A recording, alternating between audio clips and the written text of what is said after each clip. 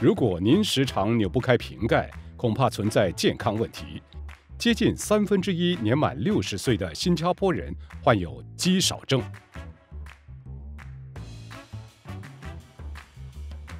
大家好，我是陈建明医生，英格医院老年科医生。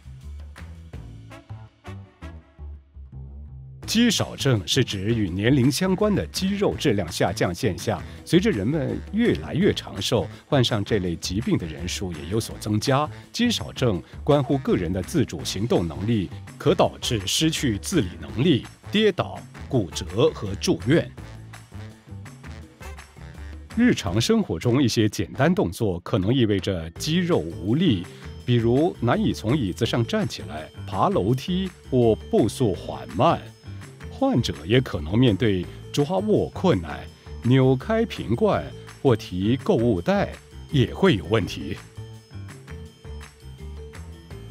蛋白质是身体组织的重要组成部分，帮助细胞修复、提升免疫能力。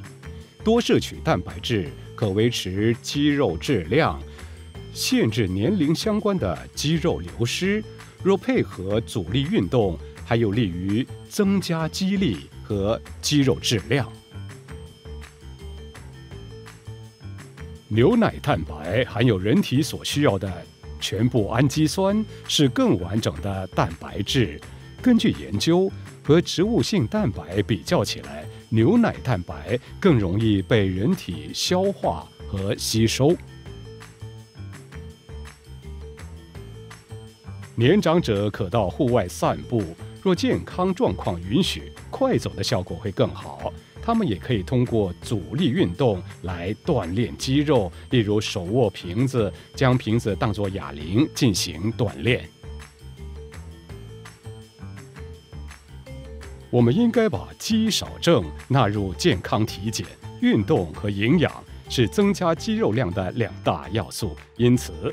进行阻力运动和摄取高蛋白质的均衡饮食，例如鸡蛋、豆腐和低脂牛奶，是日常生活中不可或缺的一部分。我们可在家自行检测肌力，比如使用握力测量器或这个。